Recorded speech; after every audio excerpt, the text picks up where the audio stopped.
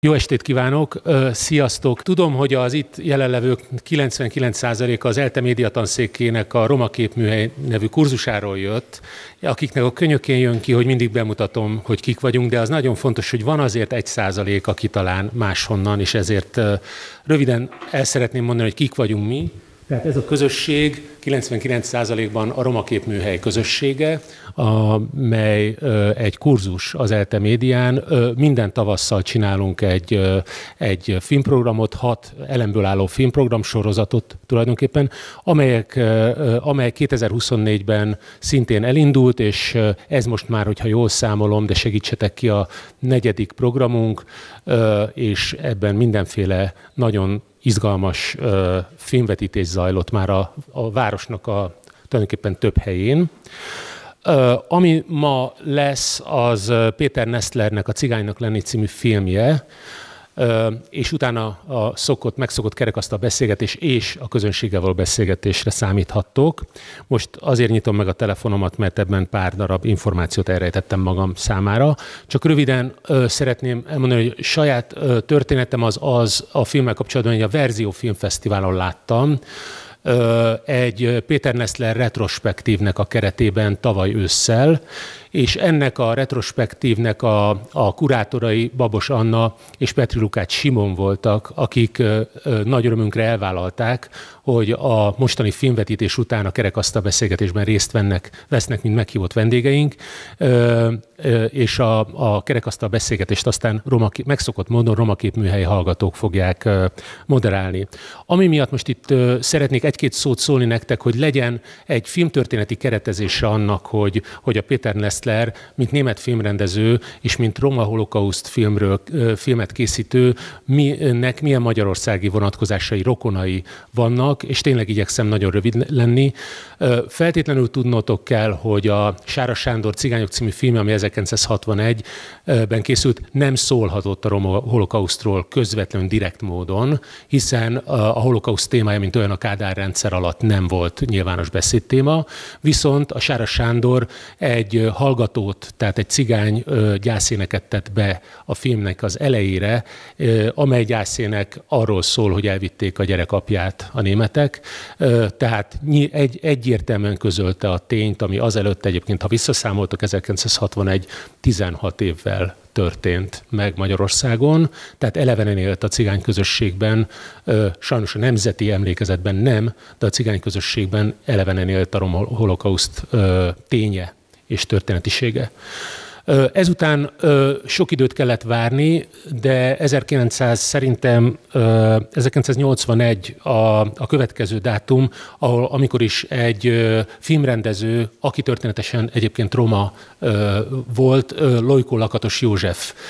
megcsinálta az Elfelejtett Holtak című filmjét, és ez az azért fontos, mert módszerében legalábbis részben nagyon emlékeztetett a, a 70-es években beinduló emlékezeti fordulatra építő filmek ö, dramaturgiájára, ami azt jelenti, hogy nem történészeké volt a, a, a jog, hogy beszéljenek a történelemről, hiszen már látnivaló, hogy csalódtunk a történészekben, akik nem tudták teljesíteni a feladatukat, nem tudták az emlékezetet hivatalos emlékezetté tenni, és ezért túlélőket kérdeztek a Lojko Lakatos filmjében, ami egy nagyon fontos dolog. És ebben nagyon erős rokona a, ugyanaz abban az évtizedben megszülető Soának, ami a, a zsidók ellen elkövetett népírtás története volt, és amit Claude Lanzmann, francia filmrendező rendezett meg. Tehát ezt észben kell tartanunk, hogy a, a Péter Nestler filmem, majd meg fogjátok látni, szintén holokauszt túlélő romákkal készült, interjúkon alapul, és ezt a magyarországi emlékezet is próbálta követni, tehát például Lojkó Lakatos József a filmjében. Nagyon fontosnak tartom, hogy a szeretettel itt köszöntött Bársony János, aki itt ül köztünk, és az ő partnere, szakmai és életpartnere Daróci Ágnes az 1990-es évektől folyamatosan készítettek interjút túlélőkkel. El tudjátok képzelni, hogy akkor már nagyon idős emberekről volt szó, és ezekkel a túlélőkkel készített interjúk később többé-kevésbé dramatizált formában, de filmekben realizálódtak, és ezeket a filmeket Jancsó Miklós készítette, legalábbis én kettőről biztosan tudok, a Temetetlen Holtakról, és a Megöltétek ártatlan családom című filmről. Tehát Jancsó Miklós, a nemzetközi elismert magyar filmrendező, aki játékfilmekről volt híres, a Roma holokausztban érdemi szerepet vállalt szakértőkkel együtt, tehát nagyon fontos hangsúlyozni Daróci Ágnes és Bársony János nevét. És végül fölírtam magamnak még egy utolsót, ami időrendben az utolsó, Varga a filmje, ami szintén Ágékkal együtt, vagy kollaborációban készült, az pedig azt a címet viseli, hogy Porrajmosz, vagyis cigány holokauszt, ugye a cigány holokausznak a romani nyelvű fordítás, ez a porajmosz, és Varga Ágota szintén túlélőkkel beszél abban a filmben, ami 2000-ben készült el. Tehát, ha megnézitek, utána számoltok, akkor, akkor azt mondhatni, hogy a, a 80-as évektől kezdődően kis szünettel a 90-es évek volt egy felívelése, értelemszerűen azért, mert akkor még meg lehetett találni azokat az embereket, akik éltek a roma holokauszt kutatásának és vizualizációjának. Tehát az túlélő arcnál nincsen hitelesebb a, a történelemről beszámolva. Úgyhogy szerintem Péter Nessler filmjét is így nézzétek, és az utána lezajló beszélgetést is majd így hallgassátok, és szeretném kérni, hogy nyugodtan kérdezzetek majd, hogyha a, a moderátorok köre lezárult úgy, úgy egy, egy 50 perc, egy óra után. Köszönöm szépen, és akkor most nézzük a filmet. Köszöntünk mindenkit itt a, az Esernyő Sóbudai Kulturális és Sport Kft. által uh, szponzorát, nem szponzorát, de köszönjük nekik, hogy, hogy itt lehetünk és megnézhettük ezt a filmet. Én Trautmann Máté vagyok, és ő pedig... Perdik Máté. És köszönjük nektek is, hogy eljöttetek. Bemutatnám először a vendégeinket. Először is Babos Anna, aki filmkritikus, továbbá jelentek meg munkái például a magyarfilm.hu-n és a mérce.hu-n, Emellett a Partizán Filmklub, Filmklub szervezője Simonnal együtt egyébként, és a 20. verzió filmfesztiválon a Péter Nestler retrospekt, retrospre, retrospektív társkurátora volt, szintén Simonnal, amit a, a András említett korábban is, ez egyébként most novemberben volt. Másik vendégünk pedig Petri Lukács Simon, aki szintén filmkritikus. Ő egy volt roma képműhely hallgató, aki 2019-ben a privát történelem és a privát Magyarország utáni kerekasztalat beszélgetést vezette, és neki is jelentek meg a munkái a mérze.hu, illetve a verziónak az oldalán is. Reméljük, hogy egészen akkurátus volt a bemutatásunk, de azért most megkérünk titeket is, hogy mondjatok egy pár szót magatokról. Köszönjük szépen, nagyon, hogy itt lehetünk. Ö, igen, nagyon pontos volt. Igazából én talán csak annyit ö, tennék hozzá, hogy a Nestler életművével hogyan találkoztunk először, vagy talán ö, most az ebben a kontextusban ö, érdekes lehet. Ö, Pamplónában a Punto de Vista ö, nevű filmfesztiválon láttunk ö, először, vagy én akkor láttam először ö, Nestler filmeket, ott egy, ö, egy kicsit nagyobb retrospektívet szenteltek az életműnek, és, és igen, ott találkoztunk vele először, illetve még annyit szerettem volna elmondani, hogy a, a verzió, a verzió vetítésein itt volt, a Péter Nestler Magyarországon, úgyhogy, úgyhogy az ilyen szempontból egy, nekem egy ilyen nagyon izgalmas találkozás volt, vagy hogy így lehetett kérdezni őt, a nézők is tudták kérdezni őt a munkájáról és az alkotói gyakorlatáról, ez, ez egy, egy ilyen különleges élmény volt nekem. Igen, én is nagyon köszönöm a bemutatást is, meg a lehetőséget is, és Andrásnak külön a feliratozást, ami egy nagy munka lehetett, és ez egy kuriozitás, hogy ez most megtörtént, mert a verzión sajnos, vagy nem sajnos, a sok külföldi vendégre, vendégre való tekintetel nem sajnos, de a verzión angol felirattal vetítettük ezt a filmet először, történt ennek a bemutatása, amivel nem a saját különlegességünket akarom hangsúlyozni, hanem azt a, azt a egyik esetét a számos jellegzetes ilyen magyar esetnek, amikor a magyar történelmet is érintő um, uh, és azt feldolgozó uh, művészetet egyszerűen nem hajlandó tudomásul venni a magyar nyilvánosság, és Pamplónában meg uh, a világ legkülönbözőbb helyein előbb uh, válnak hozzáférhetővé ezek az alkotások úgyhogy nagyon köszönjük Andrásnak, hogy így tovább mélyítette ennek a filmnek a helyét a közgondolkodásban. Hozzátettek valamit? hogy, hogy a Nestler szempontjából mondjuk a, a magyar ö, kontextusban való bemutatás azért is fontos, mert a, az alkotótársa Zsóka Nestler magyar volt, és ennek a filmnek az elkészületében is ö, nagyon nagy szerepe volt, ö, úgyhogy majd erről biztos fogunk beszélgetni. Igazából most így a, a beszélgetés kezdetén kicsit a, a történelemmel kezdenénk, hogy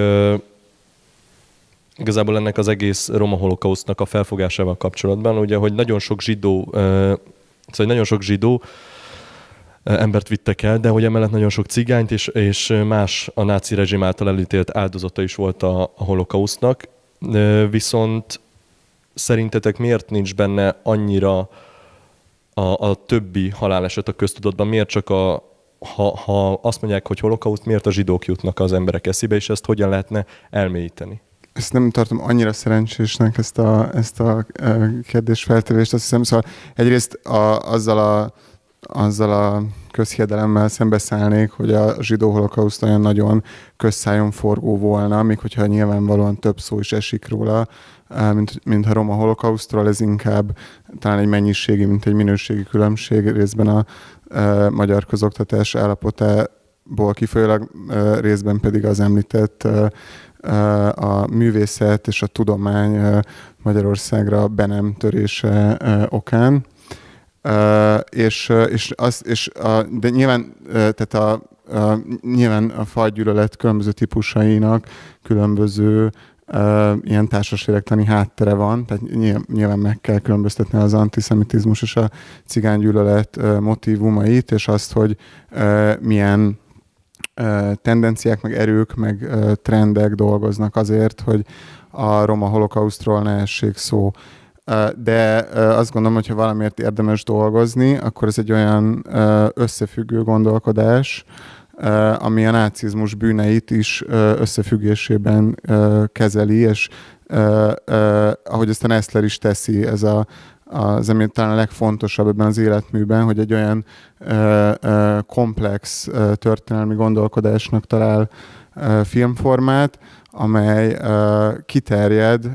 a fasizmus legkülönbözőbb működéseinek a feltérképezésére, és ezeket egyrészt időben nem köti kizárólag a harmadik birodalom fennállásához, hanem, mint ahogy ebben a filmben is láttuk, ugye egy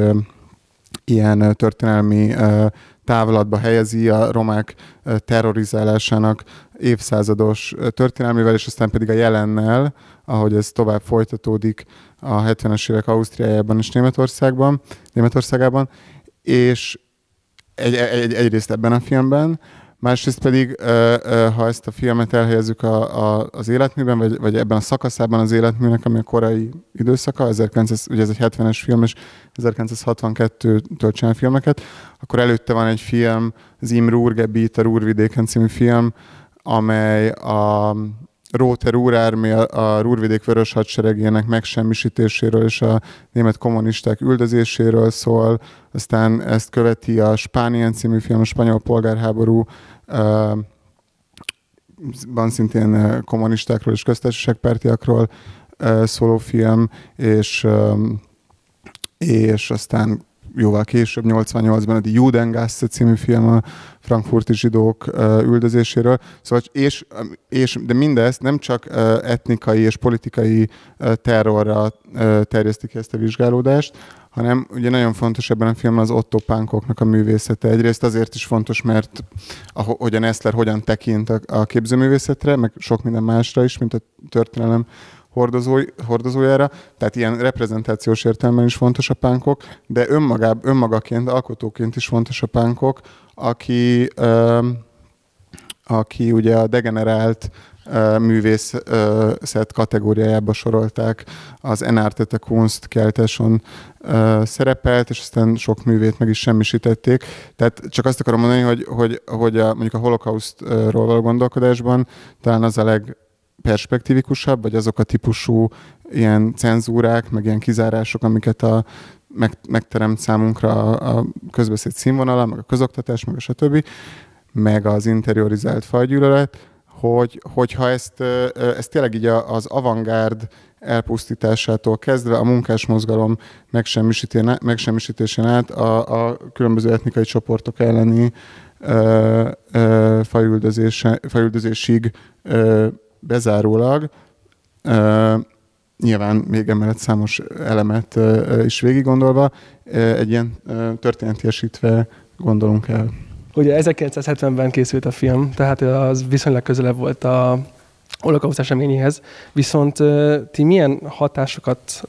láttok esetleg a, a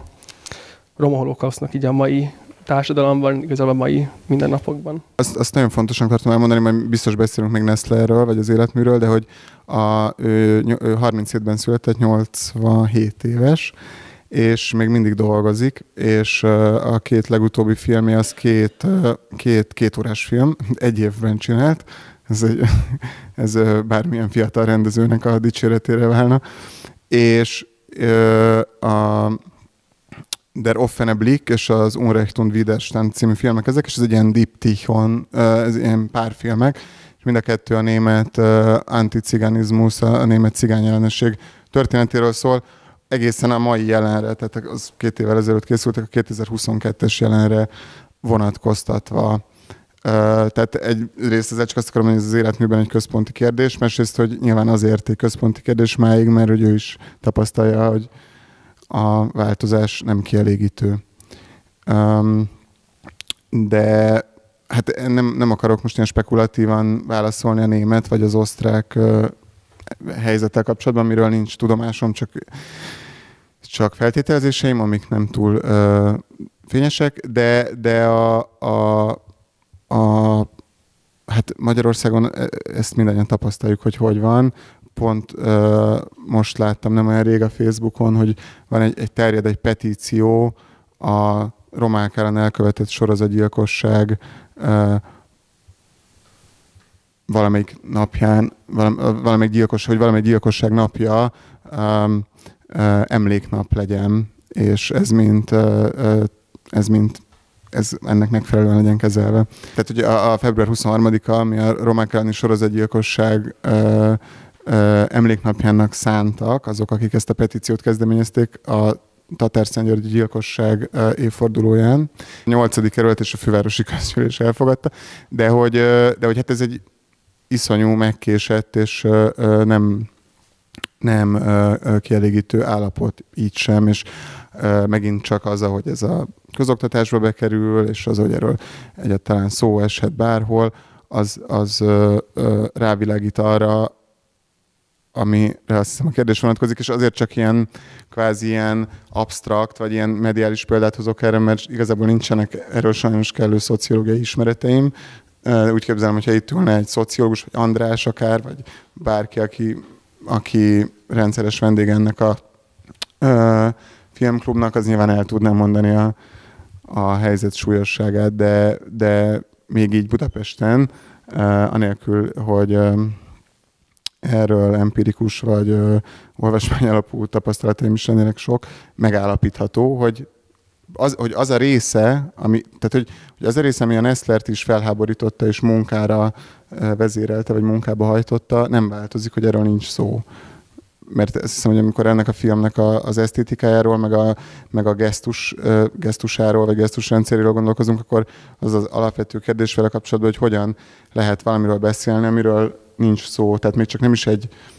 kvázi még csak nem is egy ellenreprezentáció abban az értelemben, hogy valamilyen rögzült hamis képpel állna szemben, hanem a némassággal és a tagadással áll szemben.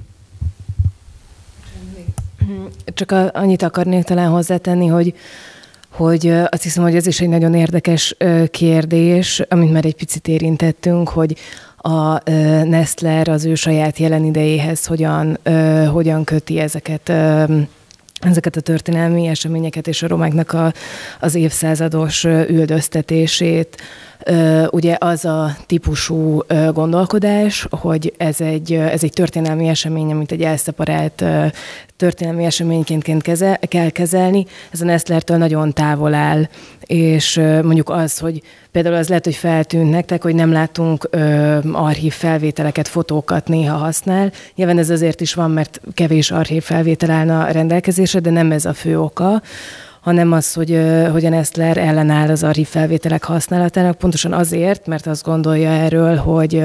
ez egy ilyen eltávolító erővel hatna a nézőkre, és számára nagyon fontos annak a hangsúlyozása, hogy ezek a, a történetek, ezek az események, ezek a, a mai napig hatnak, és ezek nem, ö, ö, nem leválasztható dolgok, hanem ezeket folyamatokként kell megmutatni. A, a, a holokausztról tulajdonképpen azt hiszem, hogy ez az a mondat, ami a leginkább fontos volt a Nestlernek, vagy ami leginkább formálta a, a, az esztétikáját, hogy megtörtént, tehát újra megtörténhet. Tehát valahogy a, a, az, hogy a, a történelmi eseményeknek hogyan van következménye jelenre nézve, arról próbál meg azt hiszem megfogalmazni egy nagyon erős állítást, és ahogy akár ebben a filmben is láthatjuk, tehát nem, nem arról van szó, hogy itt egy nagyon pontos rögzítése lenne ilyen leltár vagy katalógus-szerűen ö, próbálni valamilyen olyan típusú rögzítést, ami elmaradt volna, hanem inkább, inkább egy ilyen eszéként, filmesszéként, egy eszéisztikus gondolkodást épít a filmjeiben. Ö, igen, ennyit akartam csak hozzátenni. Szerintetek tekinthető ez a film ö, aktivista dokumentumfilmnek, vagy ez egy klasszikus dokumentumfilm? Nem tudom, mit gondoltok erről? Azt nem tudom, hogy mi a, a klasszikus dokumentumfilm. Az, az biztos, hogy a Nestlernek az egész életműve arról szól, hogy különböző atrocitásoknak a történetét és a történelmeit tárja föl, és készített filmet Csillében, Görögországban, Németországban is persze, Magyarországon és, és különböző atrocitásoknak a történetét ilyen nagyon deklaratív módon, ilyen kiáltványszerűen meséli el. Ez mondjuk, mondjuk az a típusú narráció, amit a filmjében hallunk, ami többnyire az ő hangja, ez a nagyon erős, nagyon határozott német hang, ez, ez, ez azt hiszem, hogy ehhez köthető, de nem csak ehhez, és szerintem fontosan ezt életművében arról gondolkozni, hogy nagyon sokat dolgozott a televíziónak, és nagyon sok ö, ö, filmnyelvi eszköze jön a tévéből. És azt hiszem, hogyha az ő életművéről gondolkozunk, akkor az 70-es évek tévékultúrájáról is kell gondolkozni, meg ö, nyilván főleg Svédországban. Mondjuk ezt a filmet konkrétan a, a, a svéd tévében vetítették, de a német tévében nem engedték levetíteni, Szóval, hogy, hogy azt hiszem, hogy a, az aktivizmus szerintem nem egy ö, olyan dolog, ami, ami távol állna a Nestlertől, de hogy, ö, de hogy nagyon sok minden alakította az esztétikáját. Ö. És egyébként, bocsánat, csak még erről, a, erről az erős ö, narrációról ö, annyit akarok mondani, hogy ez egy ilyen különös gesztus, vagy azt hiszem, hogy ez egy ilyen fura nézői helyzetet eredményez, amikor mondjuk halljuk a a végén megszólal egy nő, aki egyébként a Nestler édesanyja, és akkor ott az ő beszéde fölött halljuk ezt a nagyon erős német hangot, és ez egy picit egy ilyen elidegenítő helyzet, de azt hiszem, hogy nagyon fontos a Nestler megszólalásaiban az, és, a, és az egész filmnyelvében az, hogy a tények a lehető legtisztább és legérthetőbb módon kerüljenek elmondásra. Ö, és, és valahogy ehhez is kapcsolódik talán ez a, ez a sokszor ö, ilyen nagyon távolságtartó gesztus. Nestler, kicsit távolabbról kezdve, hogy Nestlert 1965-ben csinált egy filmet von Griechenland címmel, ami a görög, egyrészt a, a görögök, a náci Németország második világháború alatti görög nép elleni bűneiről szólt, másrészt a görög polgárháború és a görög kommunisták elleni különböző küzdelmek és beavatkozásokban való NSK szerepvállalásról szólt, és ezek után egy brutális sajtóhadjáratot indítottak ellene, aminek következtében Svédországba emigrált Brigitta Wolf, az édesanyja hazájába, és onnantól fogva ott dolgozott a, a svéd tévének, ahogy mondtad, és, és, és ezt a verziót, amit láttunk, és amit felújított a, a Deutsche Kinematik, ezt aztán ez a későbbi németországi bemutat, tóra készült. Tehát ebben az esetben ezért is van ez a szinkron, és sokszor ezért is van ez a szinkron. De, de azt, azt szerintem sokkal fontosabb, amit az Anna mondott, hogy, hogy ennek tényleg van egy ilyen esztétikai jelentősége, hogy a Nestler a tiszta beszéd, a tisztánlátás, az egyértelműség, a minél közvetlenebbül áthatoló, minél direktebb, minél kiforrottabb, nem kvázi a dokumentumfilmnek egy olyan ilyen spontán étoszát, a, nem tudom, a zavarosságot, a, a, az emberek sajátos nyelvjárását, vagy improvizáló beszédmódját megőrző eszményét követi, hanem hanem ezt a deklaratív nyelvet, ami közöl, és ami megszólít. És ez egyrészt talán megszólít téged, hogy érez rosszul magad. És, vagy hogy emlékezz, vagy nem tudom és, és, ez, és ez, ez egyrészt talán köthető az aktivizmushoz, de talán annyiban nem köthető az aktivizmushoz, hogy ez, ez egy nagyon ez egy nagyon magá, ez bizonyos egy nagyon magányos, nagyon nagy koncentrációt, és nem kvázi az aktivizmusnak a nyilvánosságban zajló munkáját megidéző tevékenység, uh, hanem uh, valami, ezek, az, ezek a narrációk, amiket nagyon uh, koncentráltan, egyszerűen otthon meg kellett írnia. Um, és, és egyrészt ez, és másrészt pedig igen, a televízió az nagyon fontos az, hogy ez nem tudom, hogy mennyire közismert, de hogy hogy ebben az időszakban egymástól függetlenül különböző okokból elég sok országban nyilván úgy általában a szociáldemokrácia meg a, a, a kvázi az állami tévéket jobban finanszírozó baloldali kormányok általános divatja, vagy, vagy, vagy hatalmon léte vele összefüggésben is, de nem csak a, a televíziónak egészen más szerepe volt, nem csak, a, nem csak a társadalomban, vagy nem csak a nyilvánosságban, hanem a filmrendezők életében is, mert sok rendező oda szorult részben azért, mert mondjuk egy forma nem tűnt filmesnek, tehát például az a nagyon didaktikus, vagy egy nagyon pedagógikus forma, amit a Nestler és a Zsóka Nestler kidolgoztak, az, az nem tűnt filmesnek kvázi, de részben azért is, mert számomra nagyon furcsa, vagy utólag kicsit ambivalensnek tűnő módon, hiába látták sokkal többen ezeket nyilvánvalóan, mint egy mozifilmet, valahogy mégis kisebb presztízsűnek ítéltetett meg ez a, ez a közvetítési mód, és emiatt olyan politikai,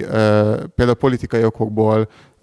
kiszorít, kiszorítandó vagy cenzúrázandó dolgokat, mint mondjuk ez a film, vagy Angliában a, a Thatcher kormány atrocitásait feldolgozó akár játékfilmek, vagy Jugoszláviában mondjuk a Zselimir Zsilnik filmjei, vagy Magyarországon például a Schiffer Pál Mit csinálnak a cigány gyerekek című filmje, a televízióban került bemutatásra, és emiatt, az, emiatt a furcsa döntés, mert aztán végül sokkal nagyobb hatást váltott ki, kvázi azért, hogy sokkal többen látták, és ennek így dokumentálható is egyébként a hatástörténete, mert uh, sok levelet írtak például a tévének,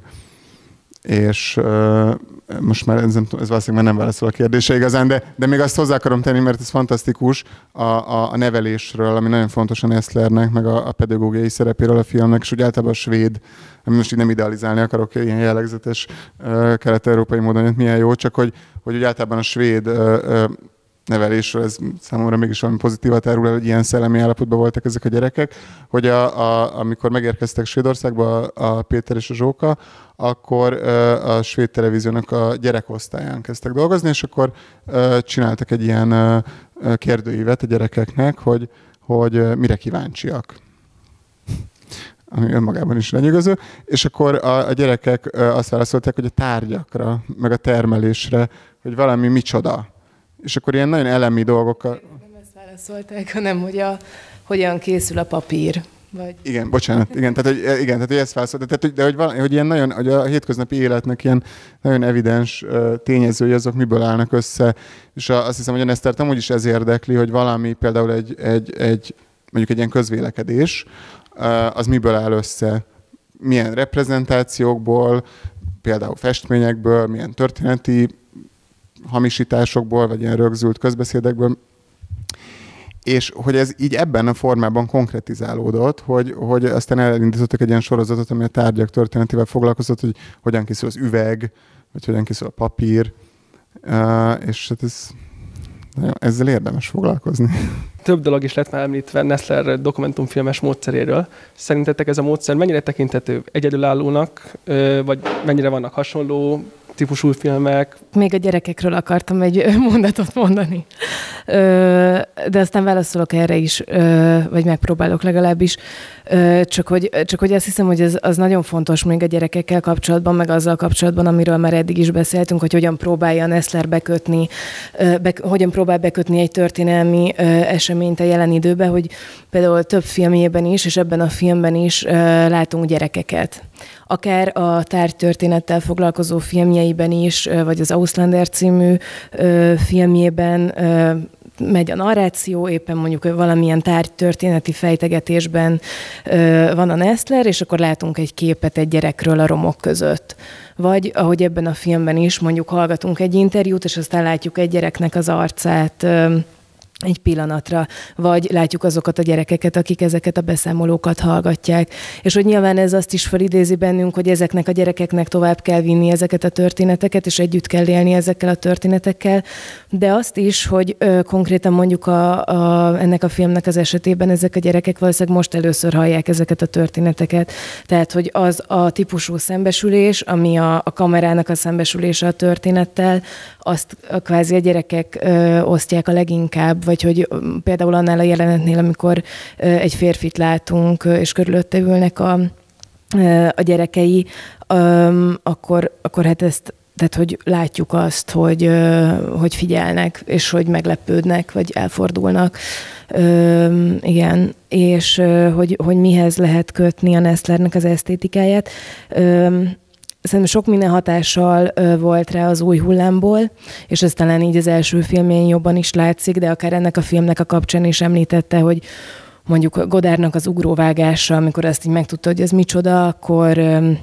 akkor az nagyon felszabadítóan hatott rá abban, hogy hogy lehet mondjuk egy interjút megvágni. Ugye ez az ugróvágás, ez azt jelenti, amikor nagyon ö, hasonló beállítást látunk, csak egy picit elmozdulnak a szereplők, tehát mm, ki van vágva egy pár másodperces vagy perces rész, és akkor ezt egy ilyen ugrásként érzékeli a szemünk, szóval, szóval ez, ez is van, és hát nagyon szoros barátság és alkotói kapcsolat volt. A Zsóka Nestler és Péter Nestler és a Straub ügyé alkotópáros között, akiknek az esztétikája talán a leginkább inkább köthető hozzájuk, illetve egy ilyen kölcsönös kölcsönös tisztelet, azt hiszem, egymás munkája iránt. Ez nagyon fontos, amit a gyerekekről mondtál szerintem, szóval az, hogy, hogy azt nem meg én is válaszolok, csak ezt, kell, ezt, ezt én is ki akartam hangsúlyozni, hogy, hogy amennyi gyerek megjelenik a Nestler életműben, és amilyen uh, gondolatgazdagon uh, viszi színre azt, a, azt, a, azt az eszményt, hogy, hogy, hogy szólaljanak meg a, akiknek nincs hangjuk, és kiknek nincs hangjuk, és hogy ez milyen széles skálán látja be, hogy kiknek nincs hangjuk, az, az nagyon megrendítő, és ezzel kapcsolatban egyébként szívesen ajánlom mindenkinek, azt szerintem a YouTube-on is elérhető, az egyik legtündéribb, vagy leg, legkevésbé uh, ilyen értelemben megterhelő uh, filmjük, ami az inkább jellemző, de hogy ez egy ilyen ritka, kedv, ritka kedves és szívmelengető alkotás, a Midder Music Grossferden a zenével fölnőni című film, 2003-as film, a Budapesten készült, egy budapesti roma zenész családról, amiben egy két lány, egy testvérpár hallgatja egymás vizsgakoncertjét, és fantasztikus, hogy figyelnek egymásra a lányok de hogy, és, és bocsánat, és még az előző kérdéshez kapcsolódva azt is szeretném elmondani, hogy, szóval, hogy ez a szisztematikus feldolgozása az üldöztetés és a szélső oldali elnyomás különböző formáinak, ez nem csak, a, ez nem csak abban volt ilyen hihetetlenül széles látókörű az életműben, hogy a, a múltra visszatekintve mennyi mindent dolgozott fel, hanem hogy aztán a jelenben is ezt, ahogy folytatta, tehát hogy, ahogy Anna is mondta, hogy hányféle országban forgatott, és például a hidegháború alatt, és hát ezek közül legalábbis a gyerekek szempontjából talán ez egyik leg jellegzetesebb mű a Képek Vietnámból című film, ami kizárólag, és ez, ez is tök érdekes számomra Eszter, hogy, hogy, hogy mondtad, nagyon fontos az, hogy az archív felvételekhez viszonyul, de ugyanakkor az is nagyon fontos, miközben az archív felvételeket elutasítja, hogy, hogy az a nagyvonalúság, vagy ez a magától értetődőség, hogy neki nem kell új képeket előállítani a feltétlenül, hanem a kamera az alkalmas arra, hogy megszólaltasson és feldolgozzon más formáit a reprezentációnak, például festményeket a legtöbbször, ami talán a legjobban érdekli, de a képek Vietnámból egy kelet-német fotós, Thomas Bilhart fotó beszámolói alapján egyszerűen csak egy fotósorozat, ami alatt vietnámi gyerekek számolnak be a napalm támadásról, és a film végén pedig svéd gyerekek olvassák fel vietnámi gyerekek verseit, szóval a gyerekek között ilyen internacionalizmus is olyasmi, amire azt hiszem, hogy ők, Zsóka és ő jöttek rá, és aztán Zsóka egyébként a, az élete második felében menekült gyerekekkel foglalkozott nagyon sokat. Um, és, és erre a másik kérdésre pedig csak azt szerettem volna válaszolni, hogy, hogy szerintem tök érdekes az, hogy egy nagyon nem, tehát ugyanezt lehet soha nem csinált játékfilmet, meg nagyon nem egy ilyen játékfilmes attitűd, de hogy de hogy ez egyrészt, amit mondasz, ez nagyon fontos a, a, az ugróvágással kapcsolatban. Másrészt, hogy a, a nem tudom, aki, hogy, aki esetleg film szakra jár, biztos ismerős az Oberhauseni Manifesto 1962-ből, ami, ami alapvetően egy játékfilmes fordulatként van így számon tartva, hogy hát ott így bejelenti magát a német új film, és akkor mindenféle ilyen uh, híres név, mint például Fassbinder vagy Alexander Kluge elindul abból. De igazából a, a lényege annak, amit bejelent az Oberhauseni Manifesto, az nem redukálódik a játékfilmre, és szerintem ez a, számomra ez az, amiben igazán fontos elhelyezni Nestlert is, meg a Straub ügyépárost, hogy, hogy az, új, az új német filmnek, vagy egyetlen bármilyen új filmnek nem csak a, a, attól a gazdasági feltételrendszertől kell megszabadítania magát, ami kiró rá különböző ilyen olyan uh, korlátozó olyan korlátokat, amik miatt nem lehet szabad, vagy nem lehet érdekes, vagy amik miatt túl klasszikus, hanem, hanem új gondolkodási formákat is kell kidolgoznia, nyilván konkrétan Németországban, konkrétan a német történelemről például és ö, ö, hát igen, tehát hogy ez az, a, ez az a, a, a, egy olyan pillanatban kell szerintem őt elhelyezni, így filmtörténetileg, amikor a, mondjuk a holokausztról, vagy a náci Németországról, vagy a két világháború közötti üldöztetésekről való beszéd, ez egyrészt nem volt lehetséges, másrészt az ezeknek a, a jelenbe való csatlakoztatása sem volt lehetséges, tehát szerintem az is egy ilyen fontos dolog a, a hogy olyan értemben ez egy ilyen szó, amit így nagyon így el lehet használni, hogy a szembenézés milyen fontos, de ugye Nestler szerintem miközben van egy ilyen frontális jellege annak, hogy megszólít, olyan értelemben soha nem néz szembe, hogy nem átellenben van a múlt, tehát hogy nem, nem valamilyen lezárt dologról beszél. Itt beszéltetek az internacionalitásáról Nestlernek, hogy több országban forgatott, a felesége is magyar volt. Az a kérdésem, hogy most ebben a filmben igazából német nyelvterül, nyelvterületekről származó romákat kérdezett meg, vagy, vagy őket filmezte, hogy ennek mi lehet az oka, mert hogy gondolom lehet volna lehetősége arra, mondjuk Magyarország, Magyarországra jöjjön, vagy hogy, hogy ennek mi lehet az oka, hogy, hogy csak rájuk fókuszált? Ennek nem tudom, hogy milyen gyártási okai voltak, biztos voltak, nem, nem tudom. Ugye ez a, ez a svéd TV megbizatására készült, az ő, az ő tehát hogy, mármint, hogy Péter és Zsóka keresték meg ezzel a svéd tévét, de, és aztán kapták ezt a megbizatást. Mm, és nem tudom, hogy ennek voltak-e ilyen kvázi ilyen forráshoz kapcsolódó okai, vagy hogy esetleg így ez volt konkrétan az ajánlat, hogy ezt a nyelvterületet akarják feldolgozni. De hát nyilván az, az amit elmondtam, az, az mozg... Szóval azért a, a, a Neszternek is, meg az édesanyjának is ö, nagyon fontos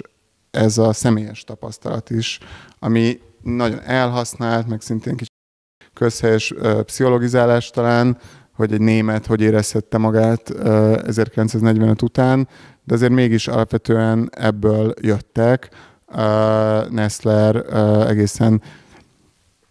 velőtrázó dolgokat látott 6-7-8 éves korában. Bújtattak az édesanyjával táborból szabadult zsidó lányokat, miközben a papája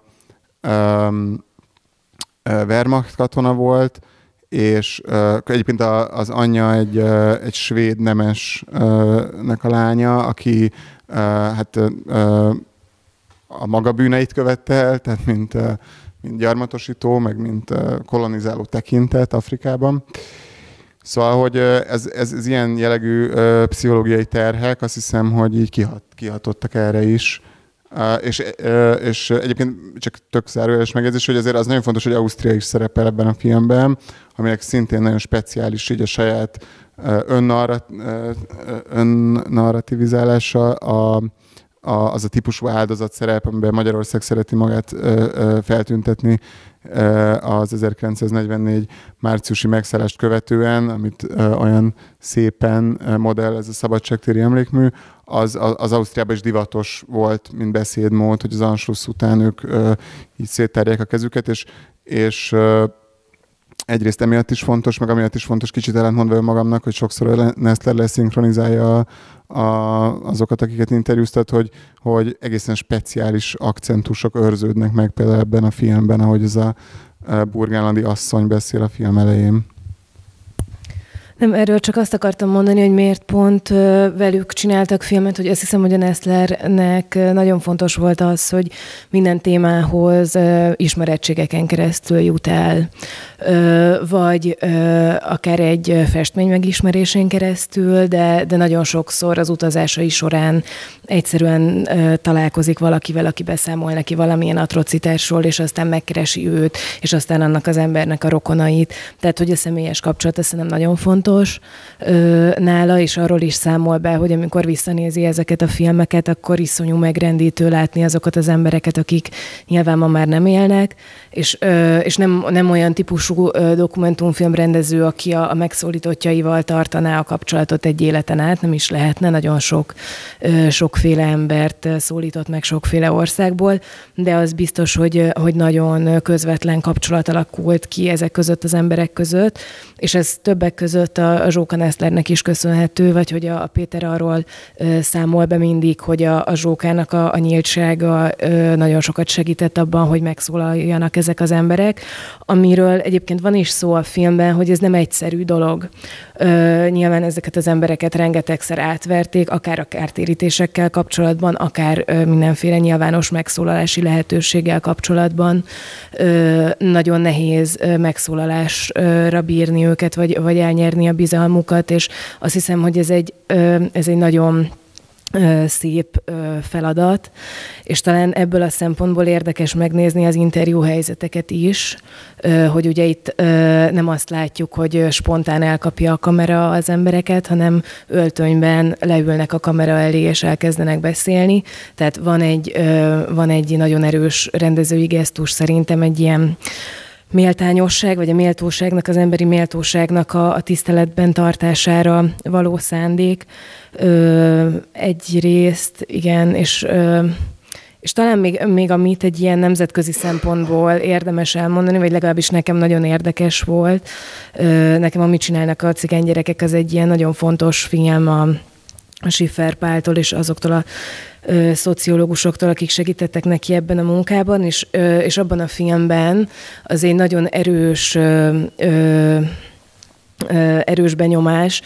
ahogyan a, a házak között pásztázik a kamera, és a, és a gyerekek bujkálnak a kamera elől, és, és van egy folyamatos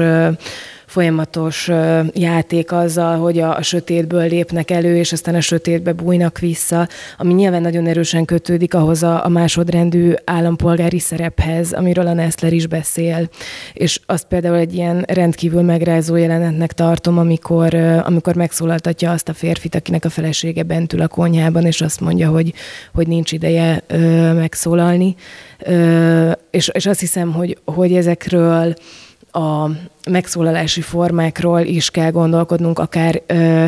ö, befogadóként ö, meglátni a kapcsolatot ö, ezeknek a filmeknek az esztétikájaként, hogy, ö, hogy a rejtőzködés, a sötétség, a, a, az előbújás, a, a kiállás, az mit jelent ezekben a filmekben, és hogy mennyire ö, egy elképesztő erőfeszítés ö, egy ilyen helyzetben a kamera elé ülni ezeknek az embereknek. Igen, igen, nem csak, hogy e, ezt akartam csak mondani, hogy, hogy a kapcsolatfelvétel, és ezenben Zsóka nagyon fontos szerepet játszott. Ez ebben a filmben konkrétan azon a fiún keresztül is történt meg részben, egyrészt az Otto Pánkok művein keresztül, hogy mondta, tehát hogy nem csak emberek, emberekkel való ismerettség inspirált a munkára, hanem mondom, fő, főleg képzőművészeti alkotások, vagy más fotók ö, ismerete, és igen, és, és Nestler is festőnek tanult egyébként. Um, és esetleg, ha majd még az életműről később lesz, az tényleg nagyon speciális, hogy egy kép, egy festményt elemez, és egy festménynek az összetételét és a kompozíciós elvét elemzi. Um, de hogy, szóval hogy egyrészt az ottopánkoknak az ismerete, és másrészt az a fiú, aki elmes, elmeséli uh, a történetet a kislányról, aki sósavval öntötte le magát, az egy, az egy olyan fiú volt, akivel a Nester anyja, Brigitta Wolf együtt dolgozott. Ő volt az egyik ilyen fiú, akivel együtt dolgozott, mint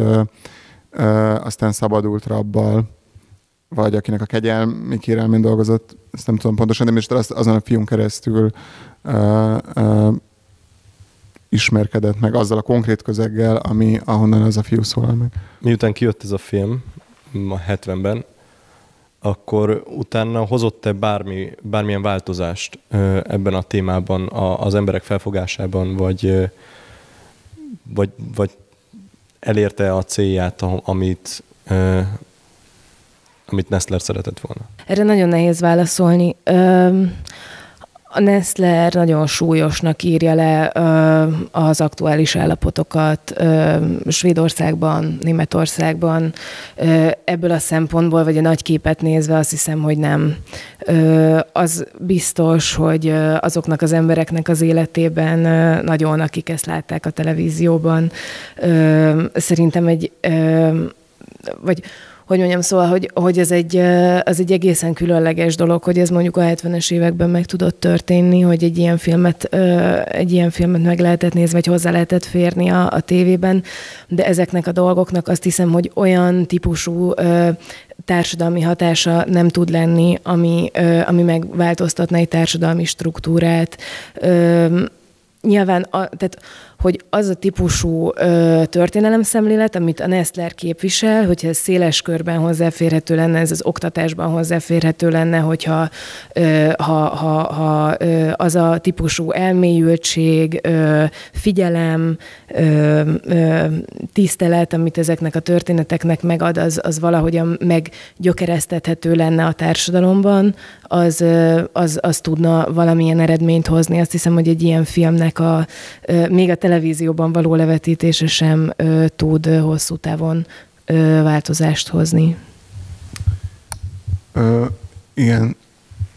És, de ugyanakkor szerintem ami, ami nagyon fontos, az a gesztus. Szóval hogy ezeknek a filmeknek éppen abból az esztétikából, éppen a didaxisnak, meg a pedagógiának, meg a megszólításnak az esztétikává alakítása miatt, az, ahogy ezeket az interjúkat komponálja, ahogy mondtad, a, a, a, tényleg a spontaneitás minden látszatának a, az eliminálása, és az, hogy uh, nem csak, ő, nem csak az ő narrációja legyen minél tisztább és uh, uh, akadálymentesebben áthatoló, hanem ezek a beszédhelyzetek is, amikbe hozza ezeket az embereket, az, hogy egy ilyen beszélgetésre fel lehet készülni, meg lehet akasztani, uh, minél uh, minél tisztábban, minél a saját igényeiknek minél jobban megfelelően tudják kifejezni magukat, felkészülten tudják kifejezni magukat. Az, hogy ez megtörténhetett, az, hogy ennek van nyoma, az, hogy ez egy filmes gyakorlattá vált, hogy ez egyáltalán lehetséges, hogy ezt így a horizontra helyezi, mint, mint lehetőséget, akár hány ember számára, de hogy ez kvázi így belép a világ meg a, meg a, a mediális környezet, meg a filmkészítői gyakorlatok sorának a, a, a, a horizontjára, az, az, az szerintem az az, ami fontos, és ez nem tudom, hogy milyen változást tud előidézni, de, de minden esetre, mint lehetőség, kvázi bebizonyosodott, hogy van. És most mi kiterjesztenénk a beszélgetést a közönségrehez, úgyhogy ha esetleg valakinek felmerült valami kérdés, akkor nyugodtan jelentkezzen, és oda viszem a mikrofont. Köszi nagyon a beszélgetést. Ez igazából csak egy ilyen komment, vagy ilyen megfigyelés, hogy, hogy arra mit gondoltok, hogy vagy azt, azt vettem észre, hogy a megszólalókra jellemző ez a, az egyikük mond is, hogy kellett egyfajta ilyen, ilyen eltávolodás ahhoz, hogy nyilván az egész helyzettel így valamit lehessen kezdeni, és hogy, hogy ez, ez én nagyon felkavaró, hogy tulajdonképpen amikor megszólalnak és beszélnek az emberek, akkor mindig van valamiféle ö, picit olyan, mint hogyha egy ilyen, ilyen betanult, amire utaltál és hogy egy ilyen fölkészült, betanult szöveg, amiben vannak érzelmek, de hogy mint hogyha nagyon tartanák magukat, és engem nagyon így megérint az utolsó jelentek egyike, amikor a férfi mellett ott ülnek a gyerekei, ami azon gondolkoztam, hogy ez egy például egy, egy olyan tudatos döntés volt el, hogy, hogy előttük elmesélni ezt a történetet, de közben mégis ott van egy ilyen felnőtt tartás, vagy hogy úgy prezentálni ezt, mint ami nem egy lezár, de egy olyan dolog, ami már így valahogy túl vannak, és valahogy ez, erről kérdezni titeket, hogy most ami a jó szó, nem az, hogy nyilván arra gondolok először, hogy ez a, a trauma feldolgozásának egy ilyen módja, hogy valahogy távolítod, és egy ilyen szemtelen módon próbálod ö, prezentálni, de hogy van mondjuk a soára gondolunk, ott azért sokkal több olyan megszóló van, ahol valahogy jobban áttörnek ezek a, az emlékek, vagy nem tudom, amikor rég láttam. Erről mit gondoltok? Én ezt, amit, amit már így elkezdtünk mondani, hogy, hogy ez szerintem, szóval ez nyilván elmond valamit ezekről az emberekről is, meg elmond valamit talán erről a helyzetről is, hogy, milyen valamiről először beszélni, de hogy nekem leginkább így a Nestlerről, vagy erről a filmkészítő gyakorlatról mond el valamit, és ez egyszerűen bennem csak nagyon nagy áhítatot, meg, meg, meg tiszteletet, meg megrendülést kelt. Nem elvetve egy ezzel ellentétes, vagy egy ennél, nem tudom, érzelmi síkon végbe menő stratégiát, de, de minden esetre az, hogy valaki ekkora figyelmet áldozza mondjuk a konkrétságnak, és annak, hogy egyes események tényleg minél precízebben és, és, és tisztábban rögzülhessenek, Miközben egyébként egy olyan, egy olyan helyzetben, ezeknek a, a kétségbe vonatala még, még legitim, meg, meg, meg egy olyan helyzetben, amikor ezek még nem rögzülnek sem tényként, sem emlékezetként, sem sehogy. Miközben egyébként szerintem a tényekkel, meg az ilyenfajta tárgyszerűséggel, amit, amit mondasz, mert hogy az ilyen tárgyszerűséget közvetítő beszédmódal, szerintem amúgy tök sajátos a viszonya. Mert ő maga másfelől meg bizonyos dolgok tökre nem precíz, és ezt nem, ezt egyáltalán nem úgy mondom, mint egy pejoratív dolgot, vagy ilyesmi, csak hogy, hogy ö, a, a, a nagyon nesztle, a legnesztleresebb filmek, a legnehezebben követhető filmek bizonyos értelemben, azok ilyen nagyon vad, ilyen brutális, ilyen mandiner asszociációk a 16. századi vallonoktól a, vagy a 16. századi svédektől a nem tudom, kortás vallon munkásmozgalomig 15 leágazáson keresztül. Tehát ilyen értelemben nem, ahogy András is itt beszélt ugye a felvezetőben, ilyen értelemben ez már azután készülnek ezek a munkák, hogy a történetírás tárgyszerűsége szerencsésen megkérdőjeleződik. De, de hogy ez, amit mondasz, igazából, szóval, hogy ez, ez csak egy zárójel volt, mert ez nem válasz a kérdésre, de hogy ez, ez szerintem nagyon lényeges, és ez, ez szerintem tök jó kiemelni. Igazából nem is a válasz érdekes rá annyira egyszerűen, csak az, hogy erre figyeljünk meg, ezt, ezt valahogy így méltányoljuk, vagy értékeljük, mert ez egy nagyon jellegzetes stratégiája a kérdezésnek, és azt hiszem, hogy amikor így a spontaneitás, meg a, meg a, a spontanitás egyrészt, mint, mint filmes, mint filmforma egyrészt divatos, kvázi ilyen etikus módon is akár, vagy pont azért, hogy az ember szabadon beszélhessen. Másrészt nagy divatja van a teljesen etikátlan ilyen terrorisztikus használatának a kamerának, amikor embereket így letámadnak az utcán, hogy megszólaljanak. Szóval ennek a kettőnek a, a, az idejében ezt szerintem így érdemes ennek örülni. Hát igen, és talán még így azt is ö, ki lehet emelni. Egyrészt nem nagyon érdekes dolog, amit csinál ö, velem. Most ezt nem akarom így kiterjeszteni rátok is, de, de azt én nagyon érdekesnek tartom, amit velem csinál ez a film. Ugye elkezdik mondani az emberek a, a, a vallomásaikat, az igazságaikat, és ez egy ilyen véget nem érő folyamatban így nem, hengerel le folyamatosan a, a tények, és még egy újabb tény, és még egy újabb tény. Ez így teljesen más befogadói helyzetet okoz, azt hiszem, mint hogyha elsősorban az érzelmekre ö, akarna hatni ö, valahogy ennek az ilyen tumultó, tumultózussága, meg, ö, meg ilyen kikerülhetetlensége valahogy nekem nagyon érződik ebben. És a másik dolog, amit még akartam mondani, hogy Ugye minden interjú helyzetben látjuk, a, nem mindegyikben, de azért sok interjú helyzetben látjuk a mikrofont, meg a, meg a rögzítésnek a körülményeit, és ez, ez is szerintem nagyon fontos, hogy vallomásokként, tanúvallomásokként, vagy bizonyítékként is, is lehessen gondolkozni ezekről a képekről, illetve hogy nem eltagadni azt a helyzetet, hogy, hogy ez egy ilyen első megszólalás a minden nehézségével, és, minden, és, és, és azzal a nehézséggel is, hogy mit lehet kezdeni ezekkel az ennyire rettenetes és felfoghatatlan ö, tényekkel, hogy hogyan lehet ezt először elmondani úgy, hogy mint tények ö, lehessen velük szembesülni. Én egy kicsit személyesre venném ebben az ügyben a, a helyzetet, tudnélik történészként belegondolok abba, hogy, hogy 67-ben hozta meg a német legfelsőbb bíróság az első olyan ítéletét, amiben a romáknak adott igazat egy e, kártérítési ügyben. Addig e, úgy kezelték a romákat, mint amelyek igaz, igazoltan e, voltak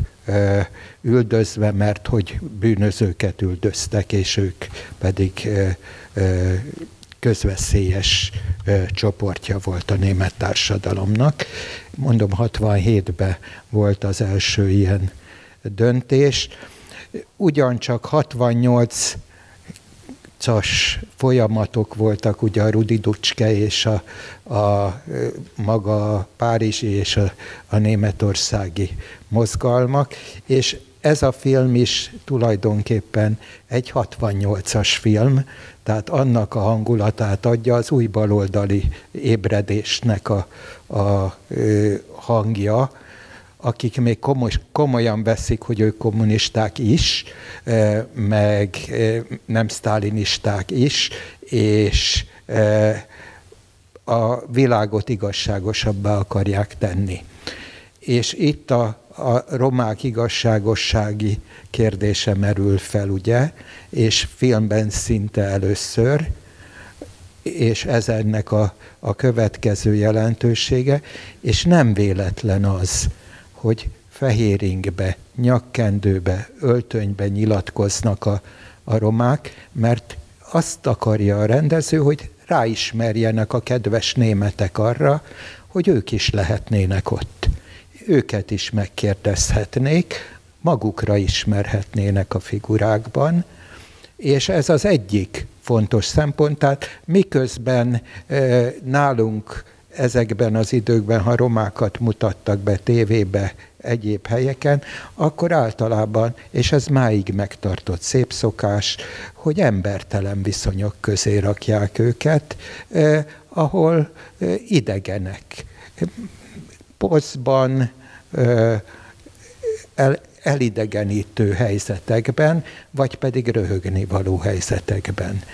Itt nem erről van szó, itt rokon szembes embereket mutatnak, szép gyerekeket, jól világítva, arra is ügyelve, és megmondva nekik, hogy itt ám ők fontos emberek, mert nem csak maguk nevében beszélnek, hanem felelősséggel beszélnek a német társadalomnak ez a merevség ebből ered, és ezt érzékelteti a film, és ebben nagyon ügyes.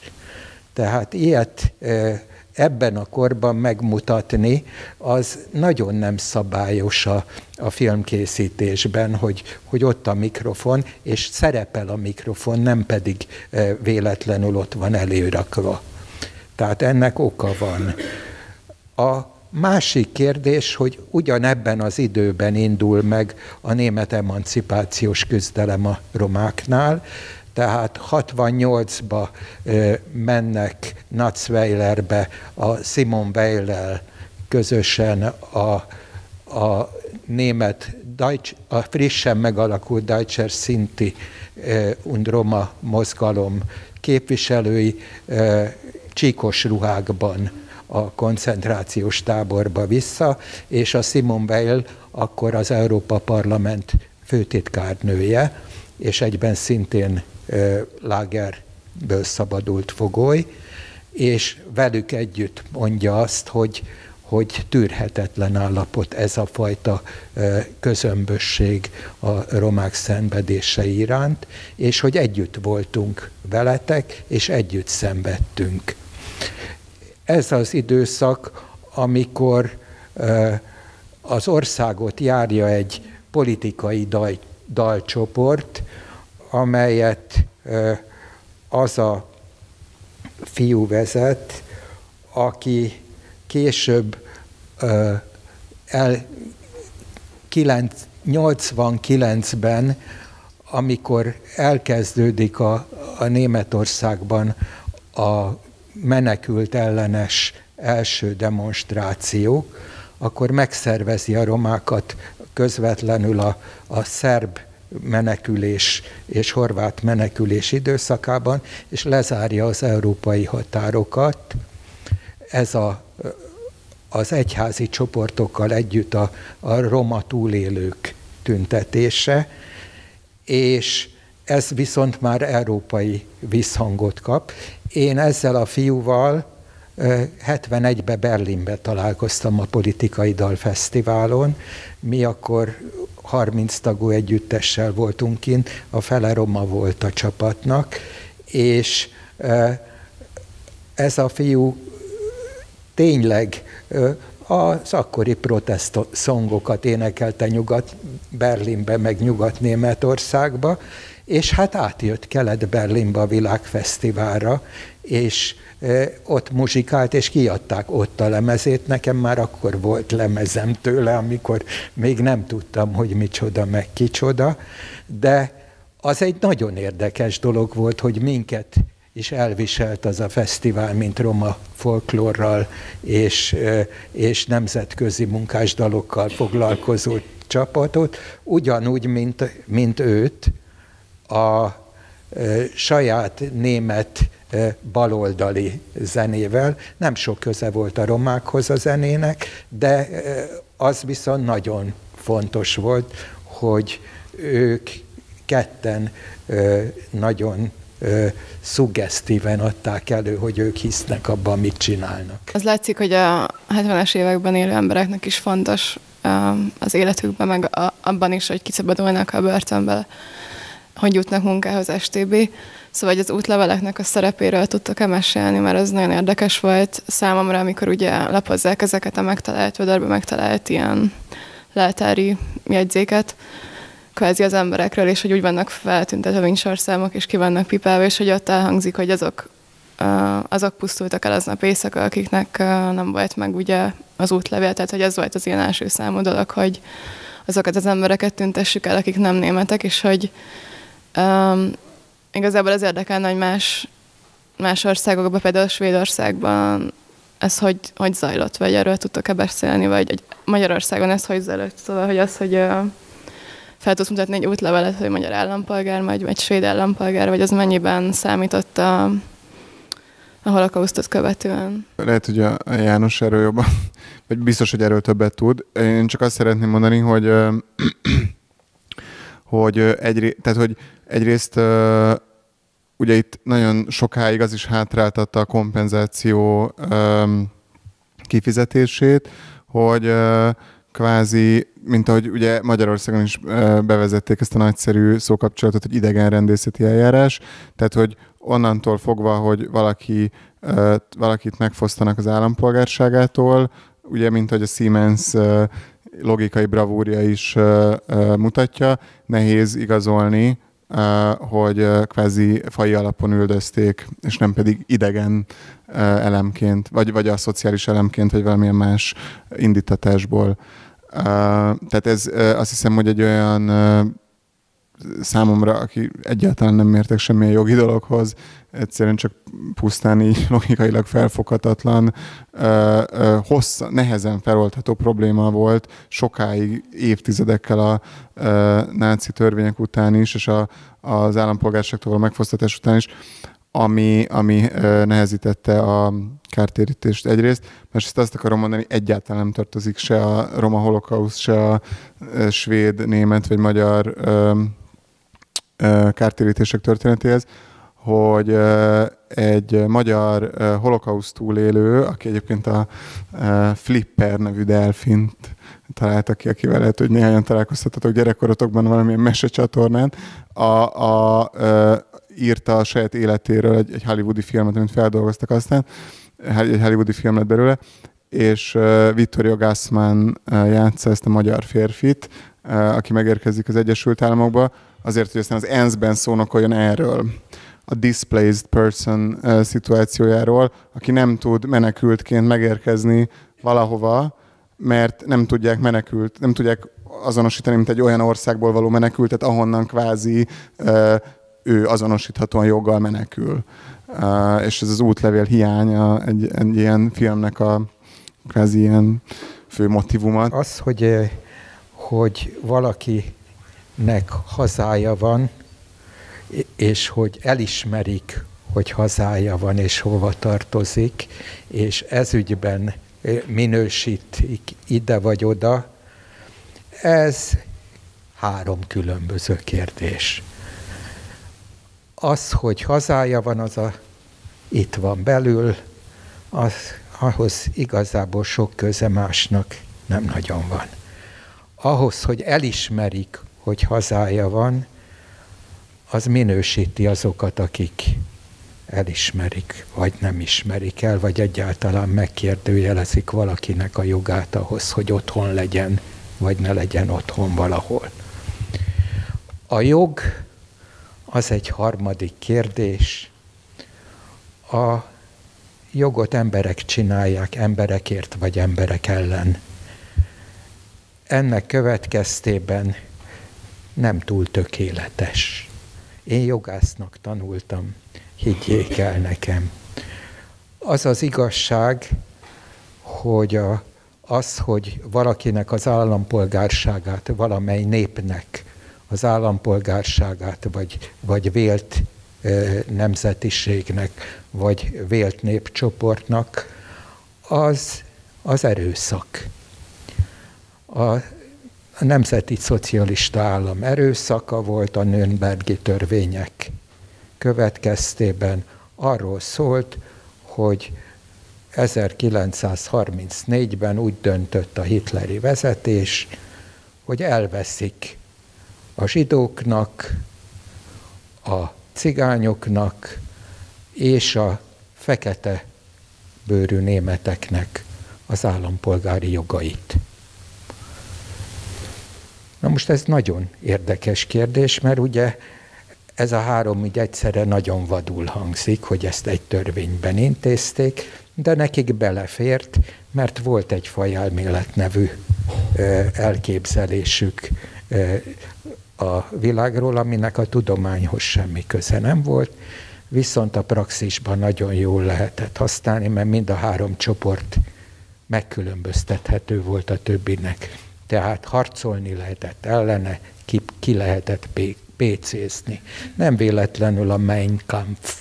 volt a Hitlernek a, a kötetének a címe, tehát a harcom, és nem véletlen, hogy mindig mostanában is nagyon sokat halljuk, hogy harcolni kell ez ellen, az ellen, ezért, meg azért. Ez ugyanaz a kampf. Mert a háborúban ugyebár mik alszanak nem csak a múzsák, hanem az erkölcs. Tehát nincs, nincs olyan fék, ami a gyilkolást, a lopást, mi egymást megfékezni. Ez alól akarják felszabadítani a háborús gondolkodók a világot ezektől a gátlásoktól, hogy nyugodtan lehessen lopni, rabolni, gyilkolni mi egymás, aki, aminek az érdeke. És a romákkal kapcsolatban is ez történt. A romák nem akartak se gyilkolni, se rabolni, sem bántani másokat, esetleg könnyebben akartak élni, mint a, a környezetük, mert úgy gondolták, hogy nem fogunk azért hajtani, hogy tezauráljunk, hogy aranyban, ezüstben, meg örökösödésben győzzünk a szomszéd felett. Nem ilyen vágyaik voltak, ők azt gondolták, hogy, hogy szeretünk egymást, és megbízunk egymásban, és jól érezni szeretjük magunkat. Ennyi volt a, a lényegi bűnük, azon kívül pedig az, hogy nem földművesek voltak, és ez már eleve gyanús. Ha valaki kereskedő, vagy iparos, az már nem természetes módon keresi meg az élelmét. Ennyit erről, mert hogy a paraszt ö,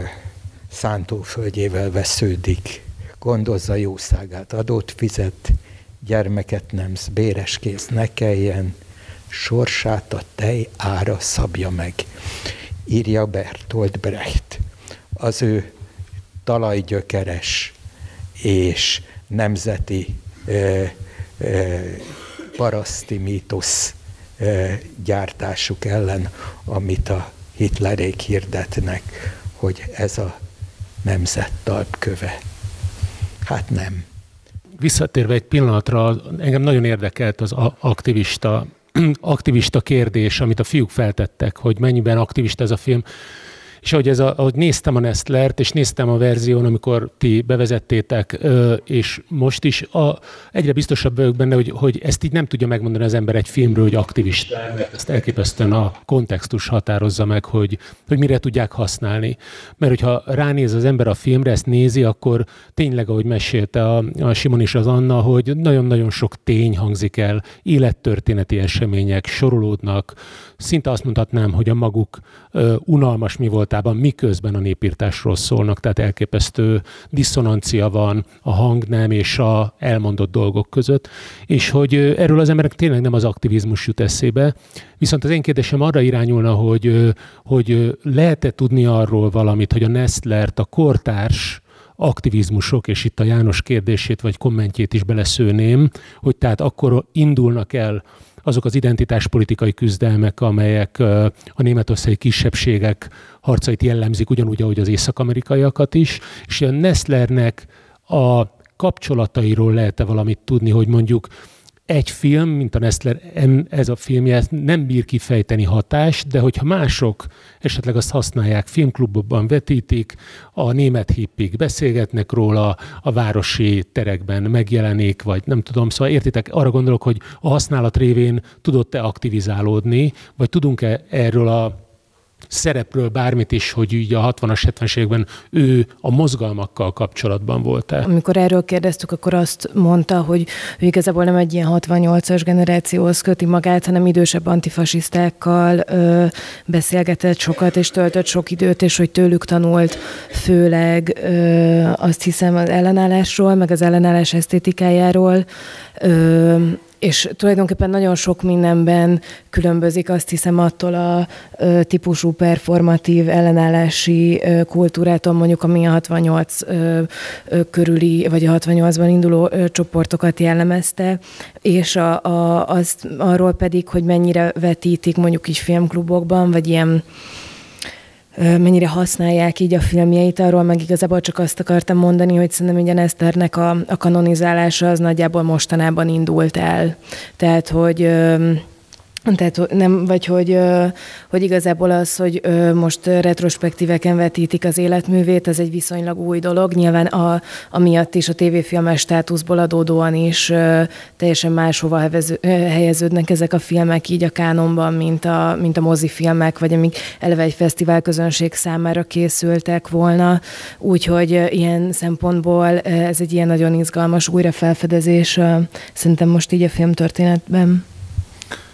Igen, egy, egy, egyrészt szeretném mindannyiótoknak megköszönni, amiket mondhatok, mert még szeretnék rá röviden reagálni, de ugye erre én is ezt, ezt tudnám válaszolni leginkább, hogy, hogy azt hiszem, hogy ez a forma, amit aminek a lényegét a Flóra kiemelt, és aztán amit olyan szépen összefoglalta a, a fehér ing és az öltöny fontossága, mint egyszerűen egy ilyen szimbolikus hordozója a, a forma stimulációjának, vagy, vagy motivációjának, vagy okának, az, az, az nem könnyen besorolható abba a forradalmi, destruktív ö, ö, divatba, vagy késztetésbe, vagy esztétikába, amit 68-hoz társítunk egyrészt. És lehet, hogy emiatt ez, egy, ez nehezebben válhat olyan filmé, ami így kézről kézre jár, mondjuk hip, ezeket nem olyan könnyű, ezek, ez, ez, ez ezektől a filmektől az ezek által a filmek által megtörténő radikalizálódás, az azt hiszem, hogy ilyen kognitív módon, ilyen befogadói módon egészen máshogy megy végbe, mint valami olyan uh, általában kevésbé szigorú önmagával, kevésbé szigorú a saját gyakorlatával szemben, sokkal ilyen diszperzebb, sokkal fragmentáltabb, és sokkal jobban a felrázás, vagy az agitáció ö, ö, ö, eszköztárával dolgozik egyrészt. De másrészt az, az nagyon fontos volt, mint mondott 68-ról, meg a németországi új baloldalról, meg a Németország, az NSK és az NDK viszonyáról, mert egyrészt önmagában az, hogy egy, egy nyugatnémet rendező az NSK kritikáját fogalmazza meg, az hát ha nem is egyedülálló, de nagyon ritka volt, és az, hogy egy nyugatnémet rendező ilyen barátsággal, politikai barátsággal, elvtársiassággal, rokonszenvel forduljon például a, a Doc Leipzig, ma Doc Leipzig néven futó, akkor talán máshogy hívták, Lipcsei filmhét felé, ahol mint ahogy mondta János, antisztálinista kommunistaként ugyanakkor tüntet az NDK azon ügyvitele ellen is, hogy ők kvázi az NSZK-hoz hasonló ellenségességgel diszkriminálják az NSZK-ból érkező baloldali rendezőket, és ezzel kapcsolatban röpiratokat terjeszt, mint ahogy ezt a Nestler mesélte, az például már az aktivizmus kategóriájába sorolható, azt hiszem. Szóval egyrészt ezt akartam mondani, de másrészt, hogy így reagáljak ezekre, amik itt elhangzottak, és, és szerintem nagyon fontosak, és nagyon köszönöm őket. A, a, a, az a munka, ami arra irányul, hogy az elnyomásnak ne csak a fegyveres formáit, és ne csak a tömeggyilkosságot, és ne csak a, koncentrációs táborokat dolgozza fel, vallassa és világítsa meg, mint elnyomási formát, hanem az ilyen típusú intézményességet, mint amilyen az útlevél, mint amilyen az állampolgárság, mint amilyen az elidegenülésnek ö, ö, ilyen különböző ilyen szisztematizálásai, ö, ami, ami, ami megkülönböztet embert embertől, állampolgárt idegentől, és nem tudom, az viszont talán azt hiszem egy kevésbé aktivista szellemet kell, hogy kidolgozzon, aki ezzel akar foglalkozni, és abban viszont teljesen egyedülállónak tartom a Nestlert. Szóval ilyen, ö, ilyen ö, ö, tényleg ilyen ö, legislatív elemekkel, meg, ö, meg a társadalomszervezés ilyen szisztematikus aspektusaival foglalkozó alkotó, még a kritikai elméletek által inspirált rendezők között is ritka, akinek például az útlevél, vagy az állampolgárság, vagy más ilyen civilizációs novumok ilyen fontos témái lennének egyáltalán. És ehhez kapcsolódóan csak ö, azt akartam még hozzátenni, hogy a Nestlernél ezek tényleg ilyen rá, ráérzésszerűen ö, működnek, mert nagyon tulajdonképpen viszonylag későn találkozott olyan kritikai elméletekkel, amik ö, mondjuk arra inspirálták volna, hogy ebben ilyen nagyon szisztematikus legyen, és hogy ez, ezek tényleg ráismerések, és hogy valahogy az, az nekem egészen ö, lenyűgöző ezekben a filmekben, hogy miközben van bennük egy nagyon erős távolságtartás, közben azt is érzem, hogy ott van valaki a kamerának a másik oldalán, aki figyel, és mondjuk ahogy a, az elején ö, pásztázza a kamera ezeket a festményeket, meg ahogy, ahogy figyeli ezeket a, a, a beszélő embereket, abban valahogy van a, a felfedezésnek és a megismerésnek és a szembesülésnek egy ilyen elkerülhetetlensége, ami nem, nem kritikai elméletek által inspirált, hanem a találkozások által, a tapasztalatok által, a, a, az útlevél és a, és a, a személyigazolvány létének az elviselhetetlenségéből következő ilyen elégedetlenséggel. Szóval, de, hogy, de köz, meg azt hiszem, hogy az az ilyen elégedetlenségérzés, vagy az az érzés, ami mondjuk ennek a filmnek a végén engem átfog, hogy ez így tarthatatlan, az, az viszont még csak egy ilyen aktivista munkához kötődik, hogy inkább ez is ilyen termeszmunka. Azt hiszem, hogy ilyen, ilyen fokozatosan tud ez kialakulni az emberben, és nem, nem egy olyan lendülettel, mint mondjuk, amit az ilyen 68-as filmekből várnák. Igen, igen, tehát hogy köszönjük szépen, hogy Köszönjük.